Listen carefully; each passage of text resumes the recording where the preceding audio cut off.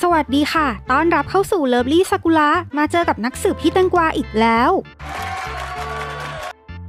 ทุกคนคงเคยสังเกตเห็นใช่ไหมคะ ตรงโซนนี้ของปราสาทญี่ปุ่นเป็นแนวตรงขึ้นไปเลยเนี่ย มันจะไม่มีระเบียง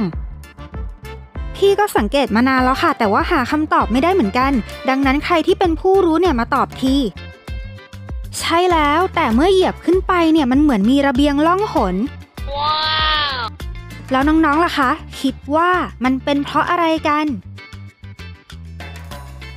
ขอบคุณมากค่ะ ที่ติดตามรับชม ถ้าชอบคลิปนี้ก็ฝากกดไลค์ กดแชร์ Subscribe และกระดิ่งแจ้งเตือนจะได้ไม่พลาดคลิปถัดไปนะคะ แล้วเจอกันใหม่ค่ะ บ๊ายบาย